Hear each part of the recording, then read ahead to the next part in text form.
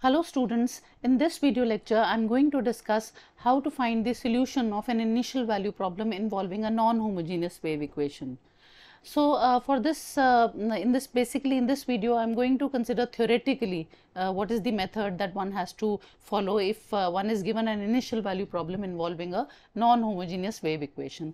So, consider the initial boundary value problem uh, which we have marked as uh, 1 and the problem goes like this. Utt is equal to c square uxx plus fx subject to the conditions ux0 is equal to fx and utx0 is equal to gx u0t is equal to a and ult is equal to b. Here x lies between 0 and L and t is greater than equal to 0. Now, if you take a look at this part utt is equal to c square uxx then this is the one dimensional wave equation uh, and the one dimensional wave equation represents uh, the problem of vibrating string which I have earlier discussed uh, uh in my earlier videos. Uh, but here apart from the one dimensional wave equation utt is equal to c square uxx uh, on the right hand side a function fx has been added and this particular function fx this makes uh, the wave equation a non-homogeneous wave equation. So, this is basically a problem involving a non-homogeneous wave equation, but in any case uh, this part this part uh, which is the one dimensional wave equation this represents the uh, this represents the problem of vibrating string as I said before. Uh, again, uh, now coming to the conditions which are uh, present in problem 1, uh, the first two conditions uh, mm, are we can see that these are conditions on time. Here t when you are actually dealing with the wave equation here u is the dependent variable and u depends on two independent variables x and t. And the second variable represents the time and x represents the horizontal distance. Actually as I uh, mentioned just mentioned that uh, the uh, wave equation uh, represents uh, the problem of vibrating string. So, if there is a string uh, then as in this case you have L has been taken L generally represents the length of the string. So, in this case L is the length of the string. So, if you have a string and if you pluck it or if you give a disturbance to it, the string starts moving up and down. So, uh, u represents the displacement or the position of the string. If you are taking any point on the string, then u represents the uh, position or the displacement of the string and uh, x represents the horizontal distance uh, from the initial point. So, if you drop a perpendicular from this point, then this, this, this distance is going to be x and t represents the time. So, u is a, a variable uh, representing the displacement and displacement depends upon the horizontal distance which is this distance and time t. So, uh, this has been discussed in details uh, in my earlier videos when we were uh, modeling uh, the wave equation or the problem of vibrating string. Uh, so, now in this case uh, ux0 is equal to fx. So, the second variable which is time t has been taken as 0 uh, Uh, and uh, uh, here also the second variable time uh, that is the time t has been taken as 0. So, these two are initial conditions because these are conditions on time and uh, you are saying that when time t is 0 in this first condition when time t is 0 ux 0 is equal to fx. So, this means that this represents the displacement and rather it represents the initial displacement because we are taking time to be 0. Again the second condition says that when time t is 0 then ut, ut is the partial derivative of u with respect to t and the, the partial derivative of u which is the displacement with respect to time gives you velocity. So, the second condition says that the initial velocity must be gx. So, the first condition is the condition which gives you initial displacement, the second condition is the condition which gives you initial velocity. So, these are two initial conditions. Besides the initial conditions we are given to uh, boundary conditions. Boundary conditions are the conditions uh, which you put on x. This is the first coordinate which represents x. When x is 0, you are saying u0t is equal to a and when x is equal to l, then uh, you are saying that ult should be equal to b where a and b are fixed. So, these are uh, uh, here a and b can be non-zero or they may be 0 whatever, but the these boundary conditions are uh, because a and b can be you know non-zero also or they may be 0. So, in general these uh, boundary conditions we conditions are non-homogeneous boundary conditions. In any case there are two initial conditions and there are two boundary conditions. So, this problem 1 is an initial boundary value problem and this initial boundary value problem involves the wave equation but uh, in non-homogeneous form because of this factor which makes it non-homogeneous. Now, the point is how to uh, solve such an initial value problem in which the wave equation is present in non-homogeneous form. So, for this uh, what we can do is one way of uh, uh, doing the, a problem like this is you can assume the solution uxt to be equal to vxt plus ux where vxt is a new variable that we have introduced and uh, ux which is a function of x is also a new function that we have introduced. So, vxt is a function which you have to determine or it is a variable, it is a v is a dependent variable which is dependent on uh, the independent variables x and t which have to be determined and uh, ux uh, ha also has to be determined, but uh, we are supposing that ux is a function which satisfies the uh, problem c square uxx plus fx is equal to 0 uh, such that u0 is equal to a and ul is equal to b. Now, uxx uh, this uh, stands for uh, d square u by dx square because we know that uh, u is a function of x only. So, when you uh, when you write uxx this means that we are differentiating u totally with respect to x it is not a partial derivative it is a total derivative. So, why are we making this assumption why are we assuming that u capital U is a function which has to satisfy these conditions which we have marked as 3, 4 and 5 that these, this has been done to simplify our original problem which was problem 1. So, uh, what you have to do is basically in this uh, uh, method you are assuming the solution to be of this type you are assuming uxt to be equal to vxt plus ux where both vxt and ux have to be determined but vxt Uh, uh, will be determined in due course uh, later on, but uh, as far as ux is concerned, ux is a function of u or ux or u is a function of x which has to be determined in such a way so that it satisfies this particular system, this particular problem and um, this problem is given by three equations 3, 4 and 5. So, now this is the transformation or this is the substitution that I am going to make which is given by 2.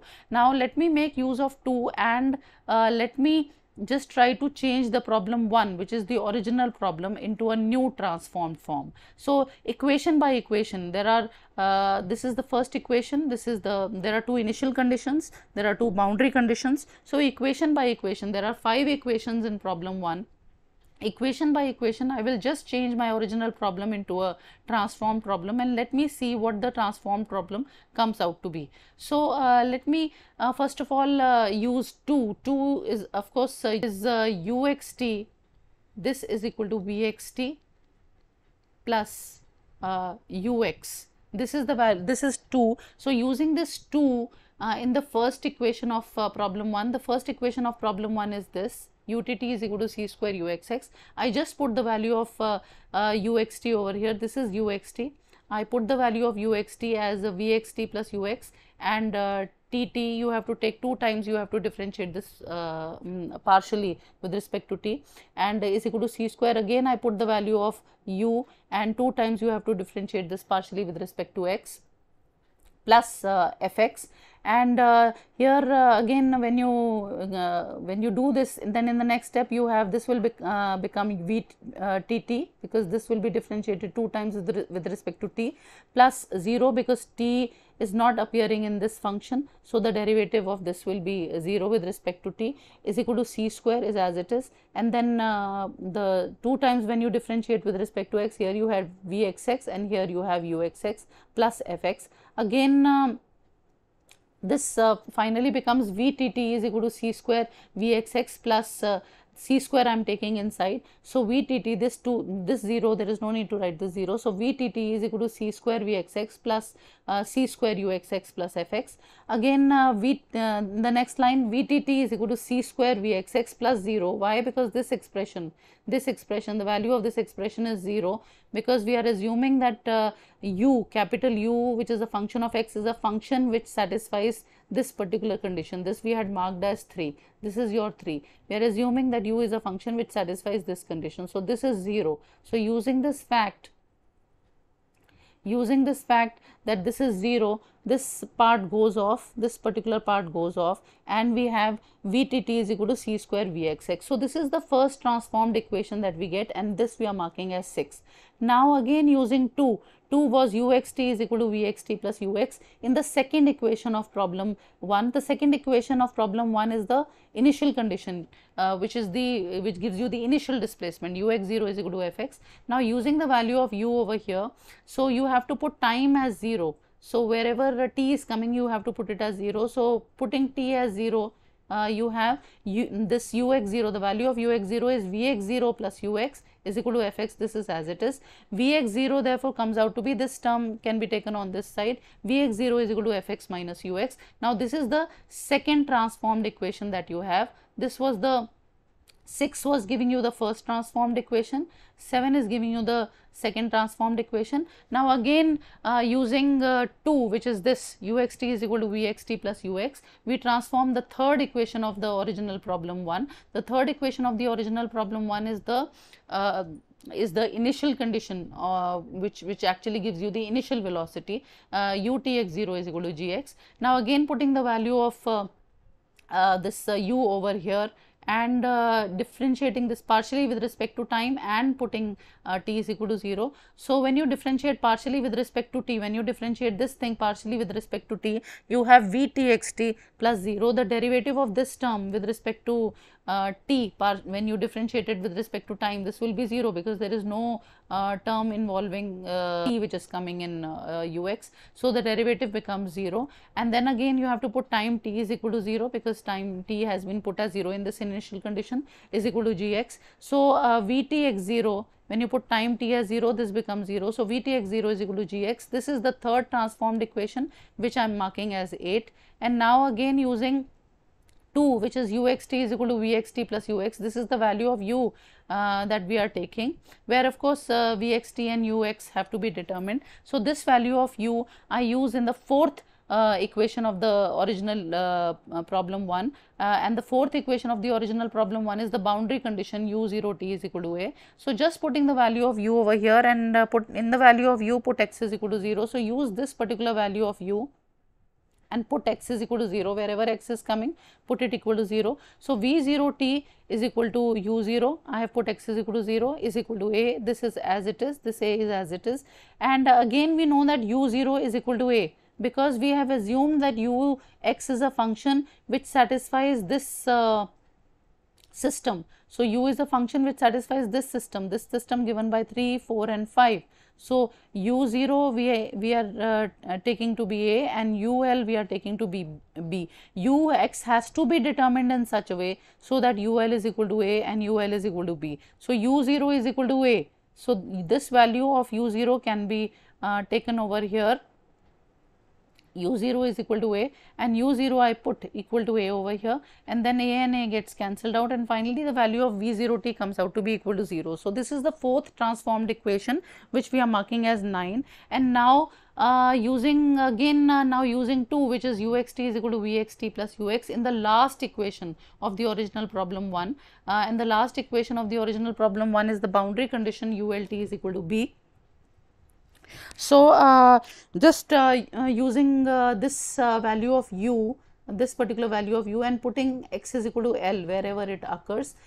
So, here we have VLT is equal plus UL is equal to B and again UL, U we have taken to be a function in such a way so that UL is equal to B this uh, uh, we have taken in the beginning itself as I was uh, showing you in the beginning ul is equal to b. We are assuming that u is a function like that u has to be determined in such a way so that ul is equal to b. So, using ul is equal to b over here the value of ul is equal to b and b and b gets cancelled out and vlt comes out to be equal to 0. So, this is the fifth transformed equation and uh, this we are marking as 10. So, considering all the 5 transformed equations now all the equations which the new transformed equations which have come out when we assumed our solution to be this uxt is equal to vxt plus ux.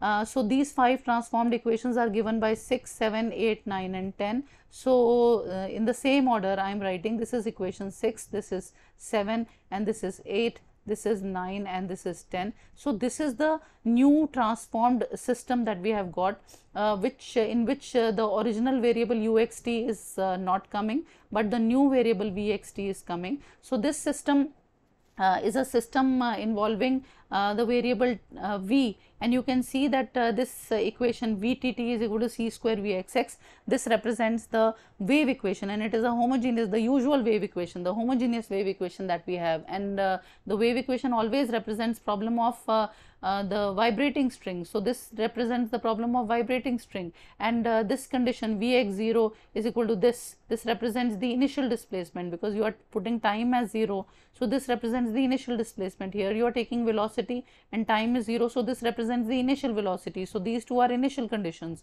Then again V0t is equal to 0 and VLT is equal to 0.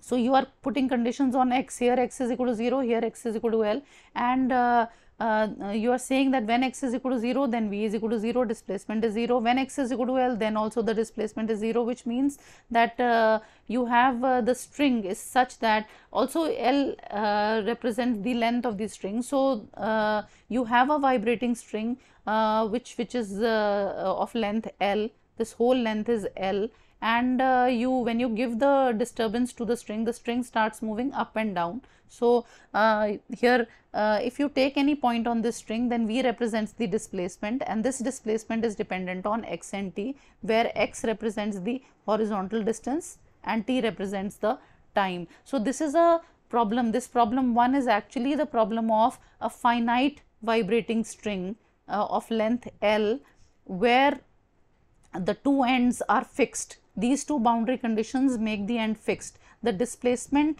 when x is equal to 0, the displacement v is 0 which means that this end is fixed. That when you are at the end x is equal to L which means this, the displacement v is equal to 0 which means that this end is fixed. So, this is a problem of finite vibrating string with fixed ends and we have already uh, uh, solve this problem. Finite vibrating string with uh, fixed ends. We know how to solve this problem uh, by using the you can use the D'Alembert solution or you can use the series solution. So this problem has a solution already. The the problem 11 already has a solution which uh, can be used. So in a way you don't have any difficulty in solving a problem like this which is the problem of a finite vibrating string with fixed ends but the only question remains that the function ux is still uh, undetermined the value of ux is still not known to us so this value of u uh, can of course be determined uh, by solving this particular uh, system which we had taken in the beginning because we know that u